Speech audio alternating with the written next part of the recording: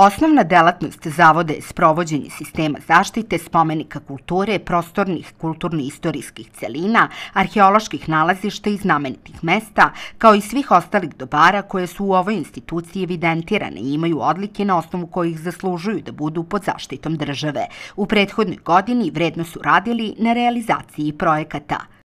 Radili smo na trasi magistralnog gasovoda Turski tok, nekadašnji južni tok, gde smo završili iskopavanje jednog lokaliteta kod Paraćina ključ, sad smo trenutno počeli sa radovima drugog lokaliteta Kraljevo polje kod Paraćina i njega ćemo kod Ćuprije i njega ćemo nastaviti u sledećoj godini. Što se tiče projekata od strane Ministarstva rada, potpisali smo ugovor za Marićevića i Jarugu u Aranđelovcu. Zbog ovog vremena radovi će se nastaviti sledeće godine kad vremenski uslovi to budu dozvoljavali. Od Ministarstva kulture i informisanja dobili smo nova zasređivanje vodenice u Grošnici. Radovi se završavaju za par dana i zasređivanje česme na bubnju. Ministarstvo turizma je dalo pare za sređivanje jezera. Mi smo preko Ministarstva kulture proizvedili sredstva sređivanje same česme i prošli jedan nabavka i započeli su radovi, pa eto, opet zavisi od vremena kada će biti završeni, ali nadam se, evo već proleća imat ćemo novu česmu i nje novi izgled.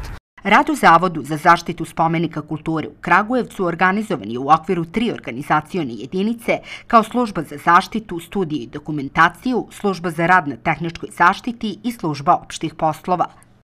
Takođe, od ostalih delatnosti završili smo i ovaj dvogodišnji projekat Horizon 2020, Noć istraživača sa partnerima Centar za promociju nauke iz Beograda, Institut za biološke istraživanje iz Beograda i Prirodno-matematički fakultet u Beogradu i konkurisat ćemo za još neke međunarodne projekte nastavak noći istraživača, kao i neki Erasmus sa fakultetom Bunjačke banje i partnerima iz Evrope, tako da to, to planiramo sledeću godinu međunarodnih projekata. Takođe što se tiče domaćih, nastavljamo radove, Kragujevcu i ovoj okolini koju mi pokrivamo. Završili smo ove godine kameno glava u Šumaricama, a vidjet ćemo još od spomenika šta ćemo da sređujemo, najverovatnije pešačke staze oko 5.3 i još neke humke koji smo sanaciju započeli godina, pa evo svake godine po neku od ministarstva rada dobijemo sredstva za njihovu sanaciju.